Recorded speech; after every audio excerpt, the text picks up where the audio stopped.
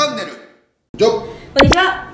さあラスト来ました。そうですね、なんかあのテンションがどんどん下がっていってますよみたいな感じでなんか心外なこと言われて。スタッフにね。はい。どうなんやっていう。どうですか？下がってますか？下がってるんですかね。あの下がってはないんですよ、はい。テンション的気持ちは下がってないんですけど、はあの多分2時間ぐらいここに座ってるんで、はい。ちょっとなんかこう動きたくなってきますよねでも最終回。はい最終回です。来ました、はいはい。さあじゃあ。ラストどこ残ってますか？ええっとえっと西武と阪神？はい、はい。じゃあ西武から。はい行きましょう。西武はですね、はい。ウーネンティン選手です。ほーウーネンティン選手。台湾出身の方。はい、台湾出身で、で、あの、大学がはい。第一工業大学っていうところで、はい。で、ドラフト指名されて、西武に入団したんで、はい。まあ、ちなみに規約で言うと、日本の大学高校通っていて、はいドラフトかかると、外国人枠から外れるっていう規約があるんで、うん。はい。だ外国人枠じゃないっていう。日本人。でも台湾出身の選手。っはい。ていう、ウーネンティンはい。あのまあ、基本的にはショートとか、はい。まあ、サードとか。内野手ね。あ内野を守るんですけど、はい。あの最初見た時に、うん。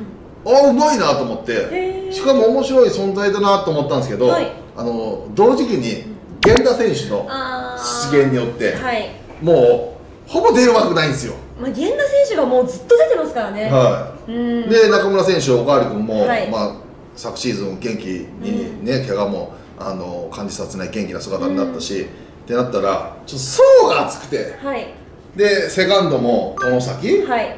がもう外野が多分あの金子木村はい。まあ、スパンジェンバーグ外国人とか、あとは川越とか、あのそういったところが入ってくる可能性があるんで、その先もひょっとしたらセカンドになっちゃうと、ん。もう本当出るとこなくなるんですよ。もうがっちり埋まっちゃう形ですね、でしかも今年齢が26歳ですから、うん。まあもし内野手でお困りの球団ははい。どうかなっていう、そうですね。トレードするのに26とかってすごいちょうどいいいいちょうどいい感じですから、うん。で結構なんかうまいなっていうところもはい。感じた時もあるし。守備がですか？守備もなんかバッティングもいい感じで打ってたとか、はい。だから最初の1年目見た時に、はい。1年目が43試合出てうん。たんですよ1軍で、はい。でそこからちょっとずつ減ってきたんですけど、うん。あのあいい感じだなっていう。だからまあ2軍の試合まで見てないから最近の姿は分かんないですけど、はい。あのもう多分チャンスないから、うん。チャンスは上げてほしいなっていうところと、まあ、台湾出身の選手で、まあ、チームで台湾の選手が活躍すると、はい。台湾に放映権を売れたりするんですよ。あそんなこともあるそうそうんですねビジネスチャンスでもあるんですよ。はい。なるそういうところまで考えて。そう考えて、その取っても、うん。まあ面白いのかなっていうへえまたこう名前もいいですね。ウーネンティンってこうなんか何回も言いたくなっちゃう感じ？ウーネンティンうーテンティンみたい。なそうできそうです。なないのかなそういうの？ヒーローインタビューとかなんか楽しいですね。そうですね。えななえじゃあみええ私ヒーローインタビューしたいです。じゃあじゃあいつものウーネンティン先生いつものお決まりのあの掛け声お願いできますでしょうか？つって。うーネディーって言って よくないですか？いいっすね。いいですね あこういうのもできますよつって。でもまああのーまあ、やっぱりチャンスがやっぱりないっていうところが一番ですね、そうですね。はい、でそれで、うん。まあ、26歳って考えた時に、はい。もうワンチャンス、うん。あのもしそういうところの層が薄かったりとかそういうところの選手が欲しいパターンのところは、まあいいのかなっていうね、やっぱ西武も、はい。まあ、昨年9人下手したら規定打席っていうところでもうがっちり固まってて、しかもその固まってる人たちのレベルが高いんで、うん。あの隙がなかなかない。はい。でその隙を埋める人たちは1軍でねいるっていうところを考えると、やっぱ2軍でってなるともうこのまま多分30いくんで。はい。もうそれだったらもうパッと。そうですね。去年一試合も一軍で出られてないっていうそうなんですよそうことなんですよ、うん。まあ、ここからどんどんあのチャンスが減っていくんで、はい。そういった面ではトレードうん。も面白いんじゃないのかなっていうところはありますね,、そうですベンチに入れるチームに、そうですねるチームに行った方が、確かにいいですね。そうですねはい。じゃあどうします阪神行きましょうか。阪神行きましょうかさあラスト来ましたラスト。そうですね、はいじゃあ阪神タイガース、トレード出した方がいい選手はい。この方です藤浪投手です藤浪投手行っちゃいますか？もう行っちゃいましょほう。えなんでですか？ういやまあもう、はいそのまあ請求難とか、はい。い、ろんな問題ありますけど、ポテンシャルはやっぱりすごいしいやっぱり人気もあるし、うん。やっぱりそのね多くの、まあだから臨時コーチ山本真さんが行って、はい。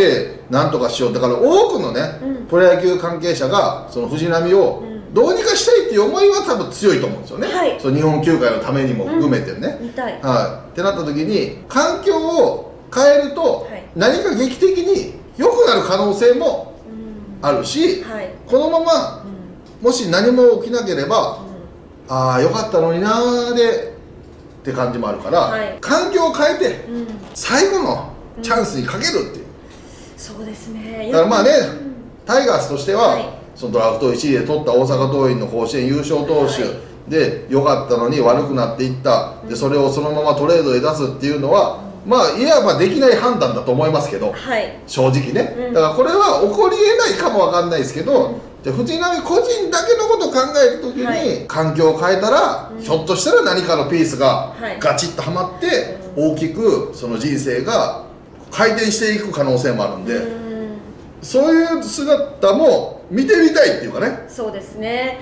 このまま阪神でもし本当にもうダメのになってしまうのならば、一か八かでも環境を変えてみるっていういうのも、うん。ここまで来たら、まあいろんなねあのこの練習とかトレーニングとか手段とかコーチングとかいろんなことをやってきてると思うんですよ、はい。でもそれがまあいわば結果としては実を結んでない、うん。ね、これはもしじゃあ伝える側の責任なのかやる方の責任なのかいろんな問題あるかもわかんないですけどでもこのまま置いてても好転しないんだったら、トレードで環境を変えて、そこで花開けばそれはそれで素晴らしいことじゃないですか。そうですね。今の環境では出会うことができなかった人に出会えるかもしれないですしね。でそこでなんか新たな、うん。その今の状況が好転する鍵だったりとか、はい。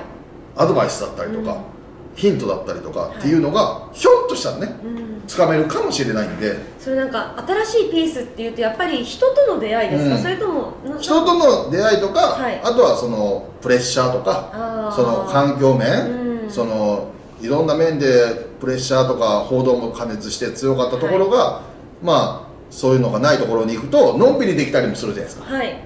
らそういったところの変化とかもありますよね。じゃあどこに行くのがいいですか？そうっすねロッテとか。あとは日本ハムとかね。ロッテとか日本ハムとかはい。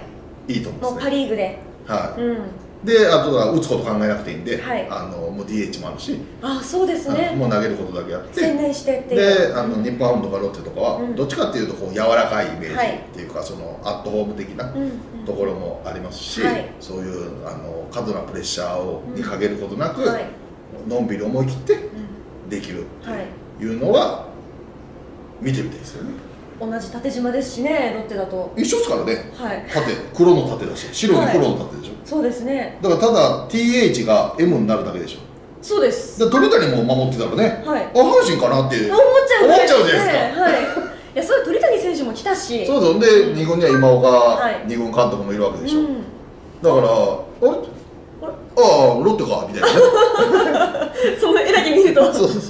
あなんかでもそう考えると藤波選手にとってはいいかもってね、うんそうそうそうそう、ね。だからまあね、あの日本ってトレードに出しちゃうと、うん。そのお前らでトレードに出してその先でなんか活躍するとね、いやあの今までのコーチが無能だったとか、うん。球団の育成システムが悪かったんやとか、あトレード先のチームはいいとかみたいにはい。言う人結構いるから、そのネガティブ情報になるからそう考えたらチームのため企業のために出さないっていう選択肢になっちゃうんですけど、うん。そのなんか多くのファンの人もだからそういう考え方やめてほしいですね。うんうんあのチームが変わったことによって変わるっていうのは、はい。その元いたチームが悪いんじゃなくて、うん。合わなかったっていうだけでね、はい、うん、い、いとか悪いとかじゃないっていう。行った先の方がより良かっただっていうだけですね、うん、だからそのポジティブと捉えてやっていくと大きく変わるし、だからこの全12球団やってきましたけど、うん。だからこういう上げた選手たちがはい。名を連ねる現役ドラフトとかね、うん。あったらよりもっと買い殺しを防げたりとか、うん。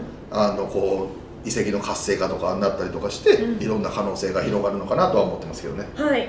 いやーこれ12球団聞いてきてなんかすごい今明るくなりました。あったかくなったでしょあったかくなりました。選手のことをすごい思ってのそうですそうです。意見なんだよなっていう、はい。だもうがこうなこうした方がもっと頑張れんじゃないのとか、はい。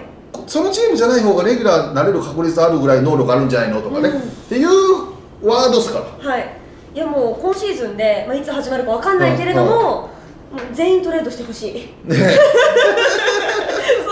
まで言っていいのかわからないけど。まあでもね、ね。やっぱりその、やっぱり一番は、まあ、チームのためももちろんですけど、はい。選手のためにね、うん。選手が活躍する場があったりとか、はい。環境を変えて活躍できる可能性が生まれたりとか、うん。チャンスが増えるとか、はい。っていうのは、うん。まああった方がいいかなと思って、まああえてね、はい。あのネガティブワードと取り上げられがちな、はい。このトレードの話を、あの展開してきましたけど、はい。